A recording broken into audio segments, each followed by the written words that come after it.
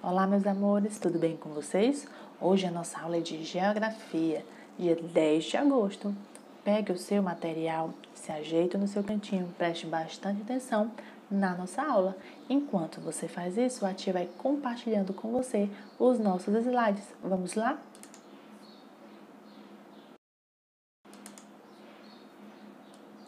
Você vai pegar o seu livro e nós vamos estudar hoje sobre um pouquinho mais, né, sobre a região sul, sobre o clima, a vegetação e a economia. Você vai abrir nas páginas 115, 116 e também da página 118 à página 121.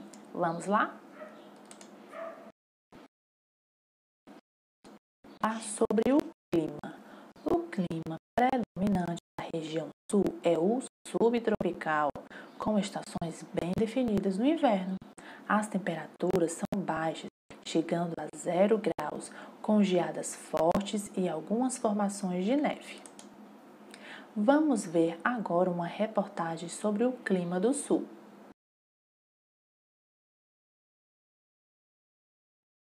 O frio chegou com bastante força no sul do país. Na Serra Catarinense fez 10 graus abaixo de zero. Foi no município de Bom Jardim da Serra.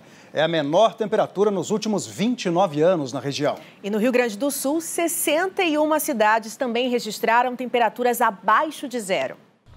No amanhecer congelante em São José dos Ausentes, na Serra Gaúcha, o termômetro de rua marcava 3 graus negativos. Uma fina camada de gelo cobria os carros que passaram a noite ao relento. Não é fácil, não. Se a gente se acorda amanhã cedo, está tudo congelado, poços d'água congelado. É muito frio, muito frio mesmo. Um tapete branco mudou o cenário em uma das regiões mais frias do país. O gelo envolveu as plantas, congelou poças d'água e o banco da praça. Basicamente, a geada é o orvalho congelado. Esse é um fenômeno típico de noites calmas, com vento fraco e com pouca ou quase nenhuma nebulosidade. Para acontecer todo esse congelamento que a gente vê aqui, a temperatura do ar precisa estar a zero grau ou menos que isso. É tão frio que chega a doer. É complicado, a gente precisa, tem que trabalhar, mas é, ele é doído bastante. Nos telhados, a imagem típica do inverno. Por aqui, o calor que aquece a água do chimarrão e espanta o frio vem do fogão a lenha. Sem ele a gente não fica, né? Porque é muito frio de manhã, principalmente à noite. 61 cidades gaúchas tiveram temperaturas abaixo de zero nesta quarta-feira. A localização da massa de ar polar foi responsável por este fenômeno.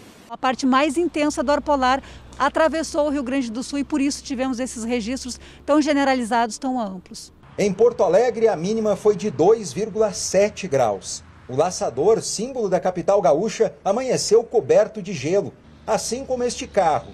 O gelo chegou até o litoral, onde os termômetros marcaram 4 graus. Em Ivoti, flores congelaram e a geada cobriu os jardins. Em Santa Rosa, no noroeste gaúcho, foi preciso muito fogo na lareira para se manter aquecido. Itaara, no centro do estado, começou o dia com um grau abaixo de zero. Mas a paisagem branquinha compensou o frio. Só de ver isso aí, né, o que a natureza proporciona para a gente, tudo bem, né? Só agradecer. Vocês viram aí, pessoal, como lá o clima tá bem frio ultimamente? As serras gaúchas se apresentam como uma região tipicamente fria. Já a região com média mais quente se acha representada por uma grande extensão de terras de planícies com baixa altitude. Da região distribui-se com relativa regularidade pelo ano inteiro, mas pode-se encontrar também características de tropicalidade nas baixadas litorâneas do Paraná e de Santa Catarina, onde as médias térmicas são superiores a 20 graus e as chuvas caem principalmente no verão. Os ventos também afetam as temperaturas. No verão sopram os ventos acílios, né? É, alísios vindos do sudeste que, por serem quentes e úmidos, provocam altas temperaturas, seguidas por fortes chuvas. No inverno, as frentes frias são geralmente seguidas de massas de ar vindas do Polo Sul e trazem um vento frio chamado de minuano ou pampeiro. A região sul é a mais fria do país, principalmente na região do Planalto Serrano, localizada no Rio Grande do Sul e em Santa Catarina. Agora nós vamos falar um pouco sobre a vegetação da região sul. Devido ao clima subtropical, a região possui uma vegetação típica classificada em mata de araucárias ou mata dos pinhais. Olha aí as matas das araucárias. Essa foto aí é uma foto né, típica da região sul. A araucária, nome científico é Araucária augustifolia. É a espécie arbórea dominante da floresta ombrófila mista, ocorrendo majoritariamente na região sul do Brasil. Com o desenvolvimento dessa região, a floresta foi em grande parte destruída, né, devido à prática de agricultura, da pecuária e da extração do pinho, madeira utilizada para a construção de casas e fabricação de imóveis. Atualmente, as estatísticas indicam que só resta 29% a 3% da mata original e o que restou foi transformado em áreas de preservação ambiental, sobre os cuidados dos governos federal e estadual. Dessa mata são extraídos principalmente o pinheiro do Paraná e a embuia, utilizados em marcenaria e a erva mate, cujas folhas são empregadas no preparo do chimarrão. Essa primeira é, imagem aí, gente, é do pinheiro do Paraná, a segunda, né, da embuia, e o terceiro aí são as folhinhas da erva mate. O chimarrão ou mate é uma bebida característica da cultura do Cone Sul, legada pelas culturas indígenas Caigangue, Guarani, Aimará e Quichua. É composto por uma cuia, uma bomba, que é esse canudinho aí, que tem tipo uma, uma peneirinha né, dentro dele para que né, essas ervas, né, essa erva triturada, essa folhinha triturada não passe, certo? Aí essa erva mate é aproximadamente aquecida a 70 graus Celsius. Além das matas dos pinhais, né, a Serra do Mar muito úmida devido à proximidade com o Oceano Atlântico. Olha aí essa mata bem próxima né, da praia, certo? Ela é muito densa e com grande variedade de espécies que se inicia no Nordeste e continua pelo Sudeste até chegar ao Sul. Agora nós vamos falar um pouquinho sobre a economia da região Sul. Várias atividades econômicas se desenvolvem na região sul. Nós temos o extrativismo, a agricultura e a pecuária. O extrativismo. No extrativismo animal, tem como atividade a pesca no litoral e nos rios. É grande a produção de pescado. Os estados de Santa Catarina e do Rio Grande do Sul se destacam na produção de crustáceos como camarão e lagosta e moluscos como a ostra.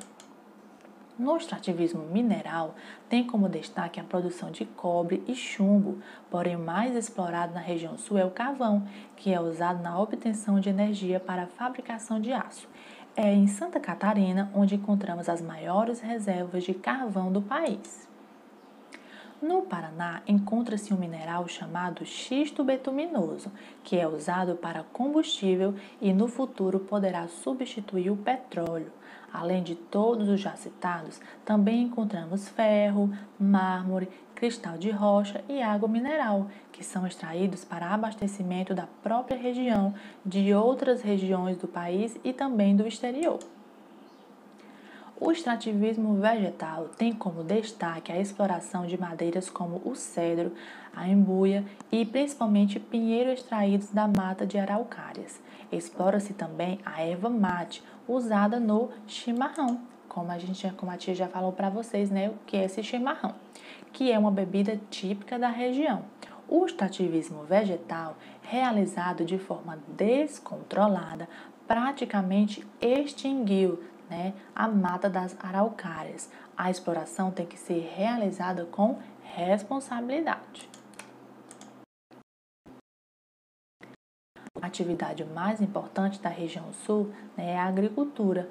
Os equipamentos utilizados pelos agricultores, o solo, o clima e as técnicas permitem boas colheitas. Cultivam-se o trigo, a soja, o café, o fumo, a uva, o algodão e o milho. A região sul recebeu o nome de celeiro do Brasil, fornece grande quantidade de produtos alimentícios resultantes da sua policultura, cultivo de vários produtos.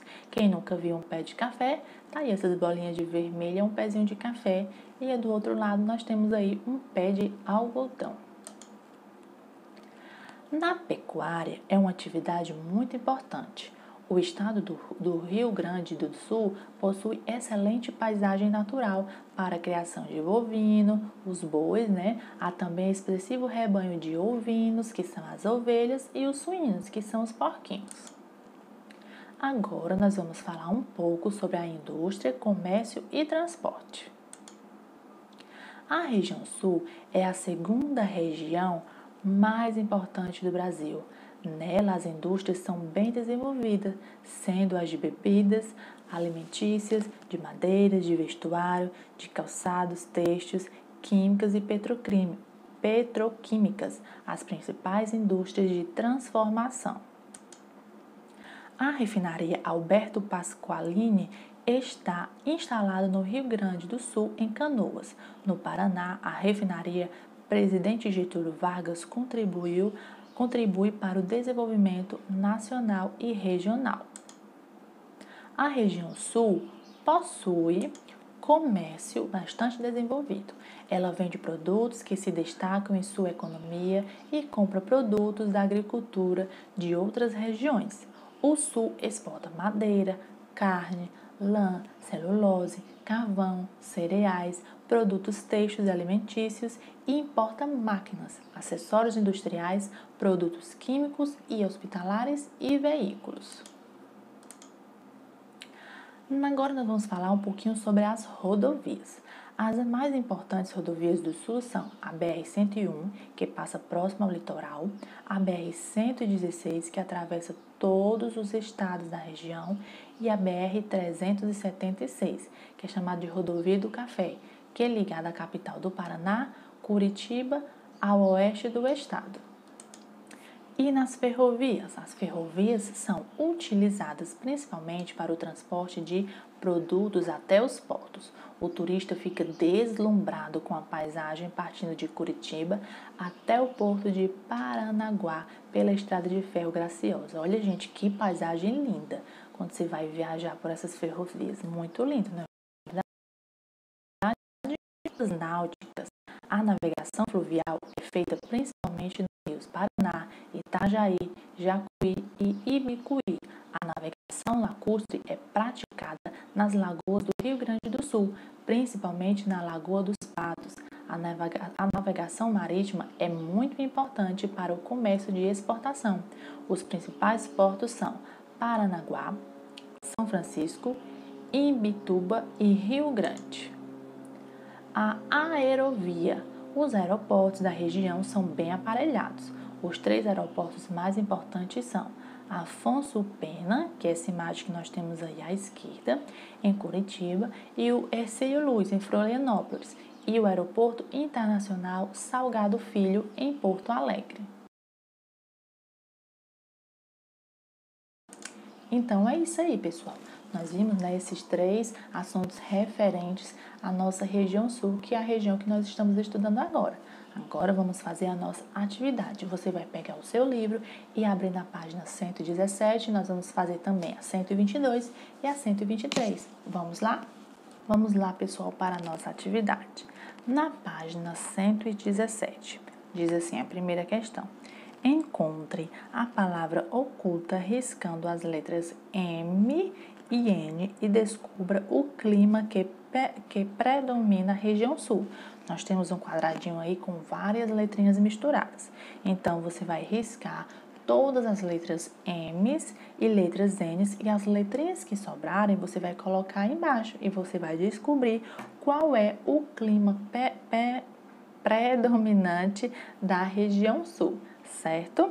Na segunda questão, em que área a região sul apresenta o clima tipicamente frio, certo? Na terceira questão, na imagem abaixo, identificando o pinheiro típica da região sul. Agora responda ao que se pede. O pinheiro é típico de que mata? Item B. Porque grande parte dessa mata foi devastada. A gente falou, né? No nosso conteúdo tem até a parte que fala sobre a porcentagem dessa mata que tem que ser usado com responsabilidade, né? Então, agora nós vamos para a página 122, certo? Primeira questão. Sobre a região sul, complete a tabela com os produtos. Nós temos dois quadradinhos. Aí o primeiro ele fala produtos de exportação e no segundo de importação. Então você vai ver no nosso conteúdo, certo? Quais são os produtos de exportação e colocar os produtos de importação nesse quadradinho aí. Segunda questão. Descubra e escreva o nome dos transportes mais desenvolvidos da região. Tem um quadradinho aí com vários, né, um, retângulo com vários quadradinhos. Você vai colocar uma letra em cada quadrado, certo? Não tem como ser outra palavrinha. Tem a resposta no seu livro e a gente também falou no nosso conteúdo. Item B. Qual o rio por onde a navegação fluvial é feita? Item C. Navegação importante para o comércio de exportação. Então você pesquisa e responde, certo? Colocando as palavras dentro desses quadradinhos. Terceira questão. Numere a segunda coluna de acordo com a primeira. Nós temos aí quatro itens. Primeiro item: principal riqueza mineral do Sul. Segundo item: riqueza mineral do Paraná. Terceiro item: suas folhas servem para fazer bebida. Quarto item: estado onde encontramos as maiores reservas de carvão do país. Aí no outro lado nós temos os quadradinhos vazios.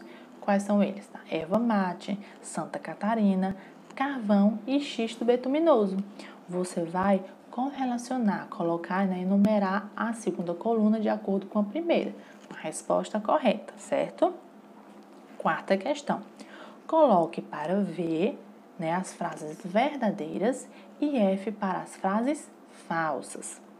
Nós temos quatro opções. A primeira, a atividade mais importante da região sul é a agricultura.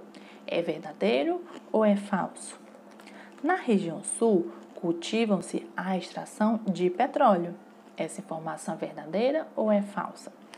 O estado do Rio Grande do Sul possui paisagem natural muito boa para a criação do gado bovino. É verdadeiro ou é falso?